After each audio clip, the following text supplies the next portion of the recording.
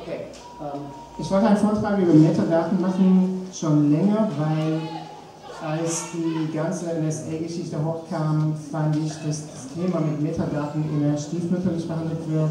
Das wären eigentlich die, nicht die richtig wichtigen Daten, das wären die Nebenbei-Daten. Und wer beruflich wie ich äh, täglich mit Daten zu tun hat und versucht daraus ein Werk zu schaffen, der sieht eigentlich, dass die Metadaten, die eigentlich viel wichtigeren Daten sind, die Inhaltsdaten eigentlich eher weniger wichtig. Wir fangen einfach mit einer Annahme an, die Wissenschaft hat sich auch über Thesen entwickelt. Äh, für Jahre lang hat man gedacht, dass die Erde flach ist. Hier haben wir ein Bild aus dem letzten 19. Jahrhundert, das so ungefähr beschreibt, wie im Mittelalter man die Erde gesehen hat. Ähm, natürlich kann man das im Nachhinein das beurteilen, dass die Leute haben Unrecht gehabt und wir wissen es besser, aber das ist nicht das Entscheidende. Für mich das Entscheidende ist, dass sie zu dem Zeitpunkt versucht haben, das Beste daraus zu machen von dem, was sie hatten. Und das Besondere an diesem Bild ist, wenn man hinten schaut, versucht dieser Mann an die Grenze der Welt zu kommen, weil es ja sehr häufig der Fall ist, dass neue Erkenntnisse dann gewonnen werden, wenn man an die Grenze wird und nicht innerhalb der Landschaft, in der man sich befindet. Wir hatten aber im letzten Jahrhundert äh, etwas ganz Besonderes. Wir könnten auf eine Metaebene gehen, um diese, die Antwort auf diese Frage zu finden. Ich setze mich gleich mal. Oh. Ähm, das ist eine der, das ist wahrscheinlich das äh, berühmteste Bild des letzten Jahrhunderts. Das ist Blue Marble und wurde von Apollo 17 1972 geschossen. Und damit war ja eigentlich dann jede Art von Diskussion, ob die Welt flach ist oder nicht flach ist, beendet. Das Besondere daran ist ähm, nicht, dass wir jetzt sehen, dass die Erde ähm, okay, zweidimensional auf dem Beamer, klar. Nein, das Besondere an diesem Bild ist, dass es aus einer Metaebene geschossen worden ist. Und das ist für mich das Entscheidende bei Metadaten. Es gibt sehr viele Definitionen von Metadaten, was Metadaten sind. Am Ende sind Metadaten Daten, aber das Besondere an Metadaten sind, dass sie aus einer Metaebene äh, entstehen. Und das All ist für die Erde quasi eine Metaebene. Das ist übrigens auch für mich der wichtigste Grund, warum Raumfahrtforschung so wichtig ist, weil wir eine Metaebene zu unserem Leben haben. Ja, aber das ist nebenbei ein eigener wert. So, hier haben wir eine weitere Annahme. Berlin ist wieder Berlin. Gut, das versteht wahrscheinlich eher ein Berliner. Das muss ich dann erstmal dann versuchen zu erklären, was damit gemeint ist. Äh, das war tatsächlich eine Schlagzeile, nachdem die Mauer gefallen ist. Und man ist davon ausgegangen, okay, die Mauer ist weg und Berlin ist wieder Berlin, das ist wieder eine Einheit. Das war 1900 1989 und wir sind jetzt in 2014. Schauen wir mal, ob wir Informationen auf einer Metaebene darüber haben können, ob Berlin wirklich äh, Berlin ist. Und hier haben wir ein ganz besonderes Bild, auch aus dem All. Das zeigt die Stadt Berlin. Ähm, ich weiß nicht, ob, ob ihr das so genau seht. Die Farben sind auf, auf der Westseite und auf der Ostseite unterschiedlich.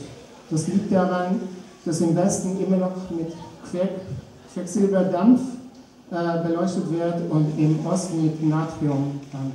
Und die haben unterschiedliche Farben. Das Besondere daran ist, dass das Metadaten sind allein schon deshalb, weil es aus einer anderen Ebene ist, aber auch deshalb, weil die Beleuchtung zu dem Zeitpunkt, als die Beleuchtung installiert worden ist, nie eine Möglichkeit hätte, oder diejenigen, die die Beleuchtung installiert haben, zu wissen, welche Metaebene irgendwann entscheidend sein wird über die Information, die von diesen Leuchtstrahlen rausgeht. Das ist das Besondere an Metaebenen, dass sie im Prinzip zu dem Zeitpunkt der Entstehung der Information nicht zur Verfügung stehen. Damit Sie Metadaten wissen, man kann neue Erkenntnisse durch Metadaten gewinnen. Und das macht man nicht ähm, nur, weil es Daten sind, sondern weil wir eine Metaebene erreicht haben, anhand dessen wir durch die Daten neue Entscheidungen treffen können oder Erkenntnisse gewinnen können. So, es gibt dann, es stellt sich dann die Frage, ob man sich vor Metadaten schützen kann. Ähm, ganz besonders innerhalb der letzten, des letzten Jahres ähm, gab es verschiedene Diskussionen und verschiedene Ansätze, wie man mit, äh, mit der Überwachung umgehen kann. Vorher gab es ein paar andere Geschichten im Internet. Ich, ich, ich mache mal erstmal drei Beispiele. Die erste Strategie ist, dass man sagt, man klingt sich aus dem System raus. Wenn ich nicht mehr in dem System drin bin, dann, äh, die, äh, dann gibt es ja keine Informationen mehr. Das Problem damit ist, dass wir jetzt in einer systemischen Umwandlung leben. Ist nicht mehr, und systemischen Umwandlung die Entscheidung des Einzelnen nicht mehr eine große Rolle spielt, äh, weil jeder Einzelne fast so ein Statist in diesem Fall wird. Und wenn man in diesem System überleben will oder sich entfalten will, dann äh, kommt man nicht drum herum, äh, mit dem System irgendwie klarzukommen. Deshalb sehen wir auch, dass Markus Tucker wieder in Twitter ist, weil er das einfach für seine Arbeit braucht, obwohl er konsequent nach NSA rausgegangen ist. Deshalb sehen wir, dass Jochen Bachmann wieder in Foursquare ist, obwohl er auch konsequent rausgegangen ist. Und das liegt daran, dass Flucht nicht nachhaltig ist. Und das ist kein Problem, das man, erst politisch könnte man sagen, das auf eine libertäre Art und Weise lösen kann. Die zweite Strategie wäre, wenn man sagt, äh, ich halte mich grundsätzlich als überall raus und ich gehe gar nicht rein und lebe mein Leben quasi parallel zur Gesellschaft. Und das ist im Prinzip noch dämlicher als die erste Strategie. Weil es ist mittlerweile, dadurch, dass wir in einem Netzwerk leben, jeder Einzelne, der besteht, nicht Teil des Netzwerks zu sein, der in Wirklichkeit wirklich Teil des Netzwerks ist, nur, nur dass, dadurch, dass er selber offline ist, ist noch lange nicht sein digitales Schatten offline. Und es entstehen sehr interessante digitale Schatten. Ich habe ja aus Spaß gestern den Namen von einem unseren Freunden, der nicht in Facebook ist, Jasni angegeben. Und Jasni hat unten einen sehr interessanten Teil. Der sagt einem noch, wenn diese Person gesucht worden ist, welche andere Personen wurden auch gesucht. Und wenn man sich das anschaut, sieht man die Hälfte des sozialen dieser Person, ohne dass diese Person jemals wusste, dass das vorhanden ist. Das, das ist halt der digitale Schatten. Und wenn Jasmin das weiß, dann weiß man, dass Google viel mehr weiß und dass Facebook viel mehr weiß. Bei Facebook ist es sogar rausgekommen, 2007, dass sie tatsächlich einen digitalen Chat betreiben. Und für mich persönlich am dämlichsten ist, wenn man sagt, der Status ist Handel. Ähm, wir machen mal ein Beispiel. Wir kommen zurück zu der coolen, zu unserer Meta-Ebene, aber diesmal zu Google, zu Google Maps.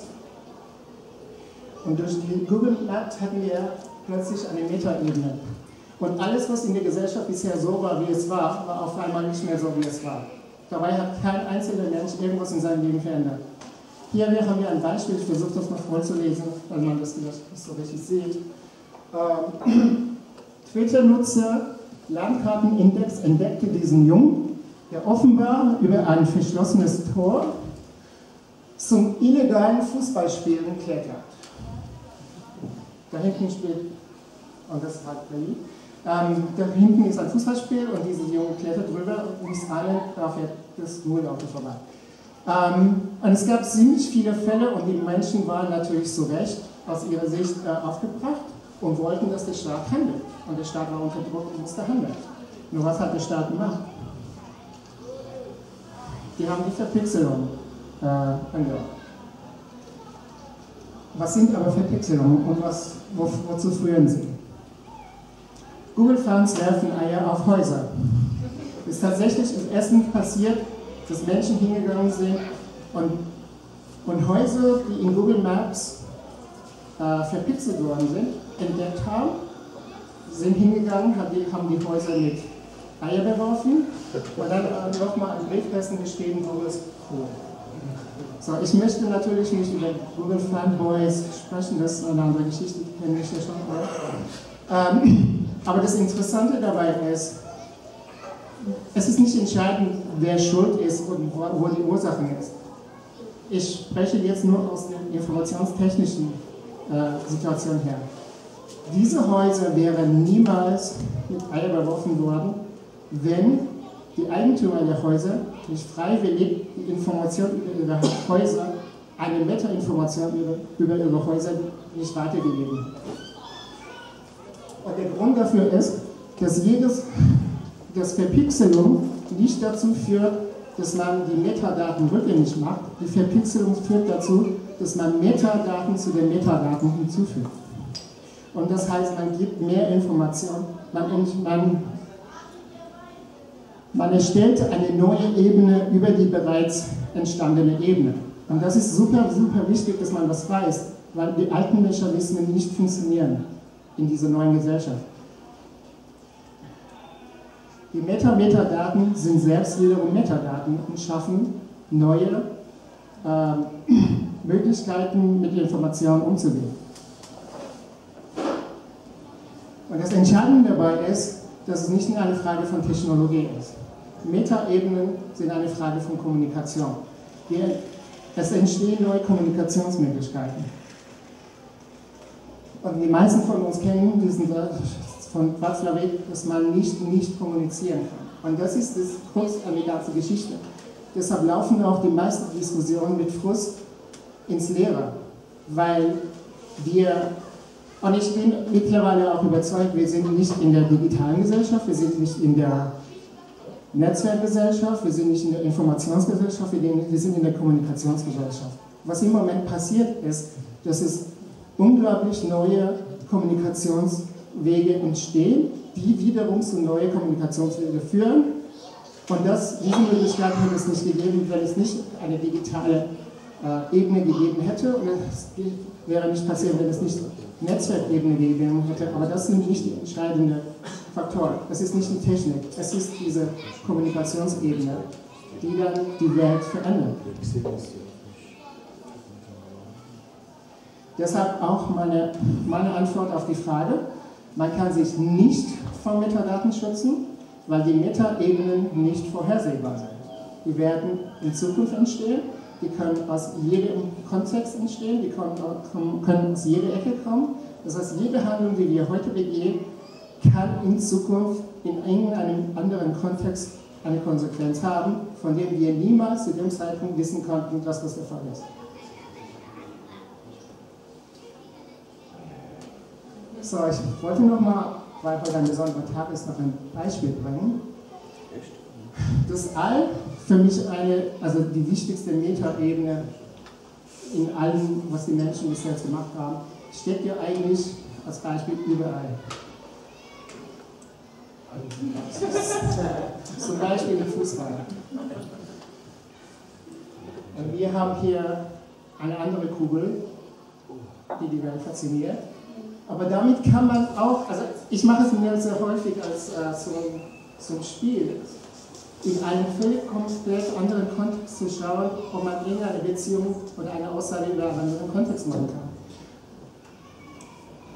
Und hier habe ich ein, ein einfaches Beispiel vom Fußball beliebiges Land kann man, kann man Informationen darüber haben, ob ein beliebiges Land anhand von Fußball, äh, ob man Hinweise kriegen kann, ob das ein freies Land ist. Wir könnten zum Beispiel das Singen der Nationalhymne als Metadaten nehmen. Und wir könnten sagen, das Land könnte Nordkorea sein. Und ich wollte Markus bitten, jetzt ein Video laufen zu lassen.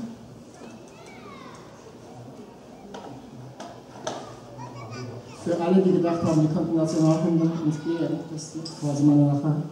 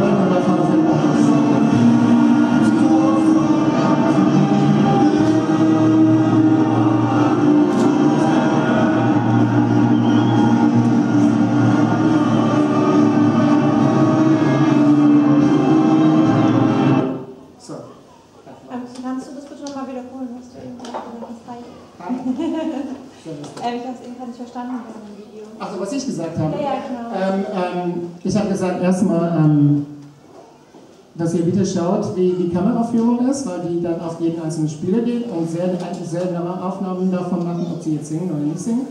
Und dann ähm, außerdem habe ich nur erzählt, dass der Spieler, der geweint hat, der ist, glaube ich, japanisch-koreaner, der dann auch in Deutschland gespielt hat und super emotional war und äh, mittlerweile auch wieder in Japan spielt. Ähm, das war er. Ähm, also wenn man es genau betrachtet hat, da hat jeder Spieler mitgesungen. Und ähm, bei Metadaten muss man vorsichtig sein und die nicht sofort als einen Hinweis zu einer Formel zu machen und daraus Urteile zu schaffen. Aber das ist nicht das Interessante daran. Wenn wir in eine Big Data Ära kommen, dann, dann ist es ja entscheidend die Summe von Metadaten.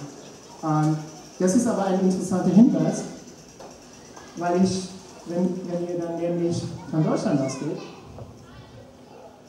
und euch heute Abend das Spiel anschaut, dann könnt ihr darauf achten, wie das läuft und welche Spiele singen und welche Spiele nicht singen.